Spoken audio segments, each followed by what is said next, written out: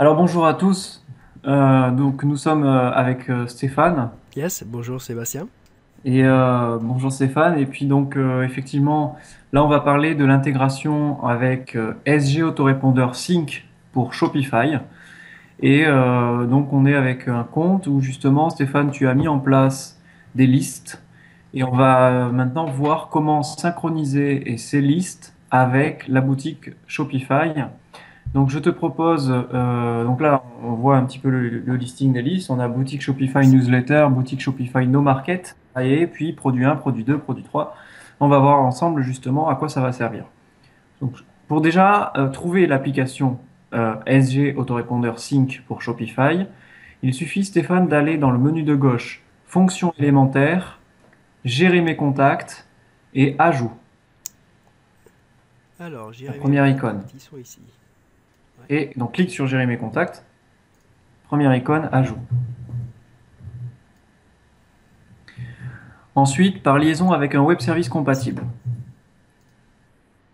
On va voir la liste des web services compatibles en cliquant sur le bouton et on va trouver, on va chercher Shopify.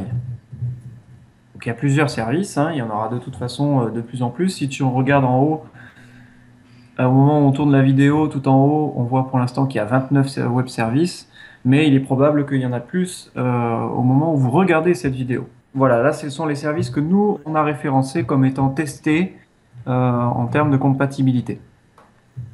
Ça ne veut pas dire que celui qu'on cherche des fois n'est pas compatible, mais il n'a pas été référencé chez nous. Donc là, on fait en fonction des demandes, et cette fois-ci, c'est Shopify qui nous concerne euh, par rapport à une grande demande, et nous avons une intégration totalement native parce que c'est une application qui est intégrée dans votre boutique Shopify. Et Stéphane, je te propose donc de cliquer pour consulter la documentation. Et ensuite, donc là, il y a effectivement un PDF d'explication qui est euh, qui va voilà vraiment donner les captures, les étapes principales. Mais là, je vais donner des ajustements, enfin des précisions à voix orale. Et donc, pour déjà retrouver l'application, et après pour faire ça ensemble de vive voix, clique simplement sur le lien qui est donné. Sachant qu'on pourra aussi chercher sur le store de Shopify euh, l'application. Voilà qui est fait.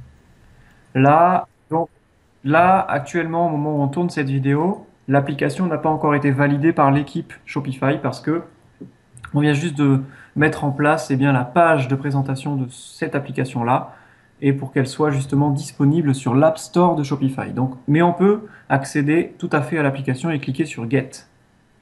Voilà.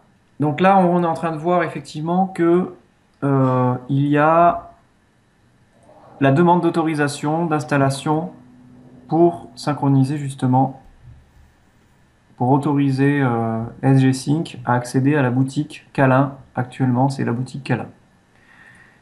Et maintenant, donc il y a une petite euh, il y a un petit euh, là au moment où on tourne la vidéo on est encore à l'étape de bêta testing hein, mais euh, il y a bool true bool false ça ce sera disparu.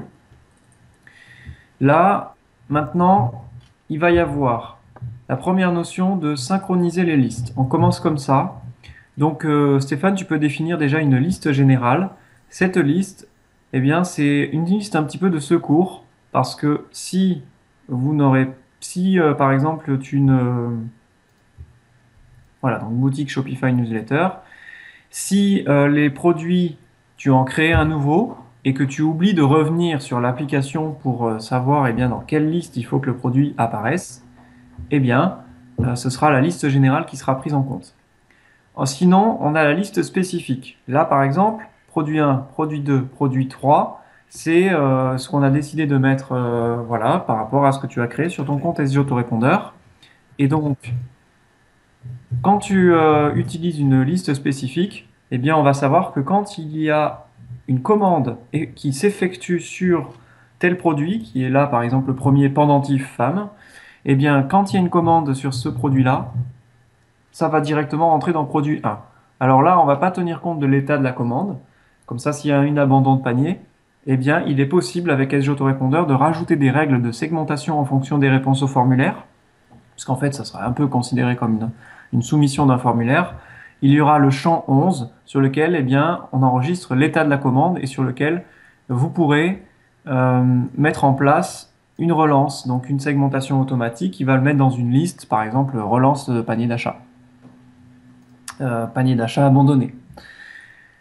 Euh, donc ensuite, dans tous les cas, il y a aussi la notion de acheteur market et la notion de acheteur no market. Et cette notion, c'est très important que je l'évoque parce que quand quelqu'un remplit son panier et qu'il donc saisit ses coordonnées, il y a une case à cocher. La case qui va dire je veux recevoir la newsletter ou les offres commerciales. Je ne sais pas comment ça s'écrit exactement, mais cette case-là est très importante parce que s'il la décoche ou qu'il ne la coche pas, ça devient un acheteur no market, c'est-à-dire quelqu'un qui ne veut pas recevoir de newsletter, mais simplement les informations liées à son achat. Il faut, euh, pour que vous puissiez respecter la législation et notamment les, bonnes pratiques en termes d'email marketing pour que vos emails arrivent en boîte de réception et vous éviter des problèmes de délivrabilité et en faire poser aussi à, l'outil que vous utilisez étant, étant SG autorépondeur, eh bien, il est important de faire la distinction entre l'accompagnement du client par rapport à son achat et une relance pour lui proposer un nouveau produit ou, euh, ou l'envoi de votre newsletter. Donc, eh bien, vous pouvez en fait, quand vous programmez ce genre de scénario ou, ou ces emails un petit peu voilà, de, de, relance ou, votre newsletter, vous pourrez exclure au moment de l'envoi, quand vous programmez l'envoi, vous avez la notion de inclure et exclure des listes sur les autorépondeurs. Donc vous pourrez exclure une liste. Et cette liste-là, eh bien, c'est celle qu'on a sélectionnée qui s'appelle boutique Shopify No Market et qu'on définit comme étant la liste dans laquelle il faut ajouter les personnes, acheteurs no market, pour éviter de leur envoyer des emails non sollicités. Si euh, il y a alors il y a toujours aussi la notion de acheteur market, c'est vraiment au cas où euh, euh, vous voulez faire la distinction pour chaque produit. Enfin, il y a tellement de choix que maintenant c'est à vous de voir comment vous allez gérer votre compte SG Autorépondeur. Nous, on n'a plus de limitation en termes de l'application SG Autorépondeur Sync pour Shopify, mais euh, si vous voulez voilà, utiliser aussi une liste marketing euh, spécifique pour ceux qui ont accepté vos envois marketing, plutôt que de faire un système d'exclusion, mais plutôt d'envoyer que à cette liste, bah, alors ce sera aussi euh, la possibilité de le faire. Donc après, on clique sur valider. Voilà, configuration terminée avec succès.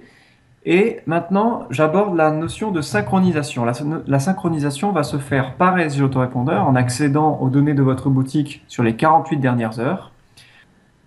Et euh, ça, c'est la configuration initiale.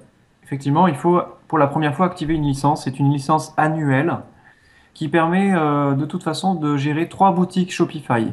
Donc, je te propose, Stéphane, de cliquer sur ce bouton voilà, c'est ce qui est précisé un petit peu dans la, dans box, c'est ce que je viens de dire. Commander maintenant. Donc après, une fois que l'achat est effectué de la licence, elle est valable un an, euh, pendant un an. Bon, là, il y a une exception euh, parce que effectivement, Stéphane a, nous a contribué à, à, faire cette vidéo pour vous. Donc effectivement, il y a eu deux mois euh, offerts gracieusement, mais sinon, c'est un an d'activation. Et donc, vous aurez justement le bouton avec la date euh, jusqu'à laquelle euh, la licence est activée, ce qui permet de vérifier euh, quand même de temps en temps.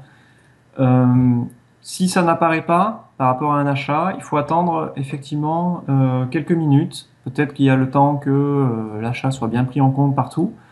Il y a aussi la possibilité pour vous de faire un refresh, donc actualiser la page, parce que le bouton ne se, met pas à jour en cliquant simplement sur le bouton valider en bas du tableau.